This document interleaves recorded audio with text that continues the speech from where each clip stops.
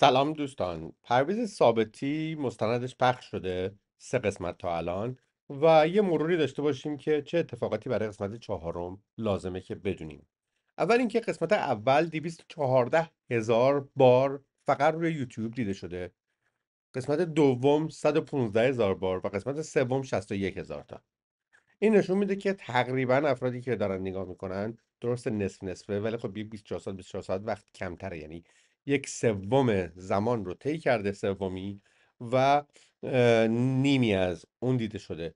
دوباره یک سوم طی شده تقریبا و نیمی از اون دیده شده و به نظر می‌رسه که در واقع داره توسط هم موافقان و هم مخالفان موافقان شدید و مخالفان شدید روی یوتیوب دیده میشه. این جدای فرکانسه و این حتی به نظرم نشون میده که فرکانس اونقدر دیگه نقش مهمی نداره و شبکه های تلویزیونی دارن از این نظر یک افت بزرگ رو در ایران شاهد هستند. اما توی trend های ویکیپدیا حداقل اونقدر تأثیری که مثلا زمان استیج یا زمان آکادمی گوگوش یا این چیزا رو داشت نداشته ماجرا. اما خب search برای تماشا کردنش زیاده. علاوه بر اون چون موضوعات به شدت موضوعات قطبیه دو قطبیه در واقع افرادی که دربارش می نویسن خیلی زیاد نیستن به نظرم و افراد یا دارن عالی جناب فلان می نویسن یا اینکه در واقع از اون طرف شکنجهگر فلان مخوف و اینا می نویسن و هیچ این وسط نمی‌تونه زیاد وایسه.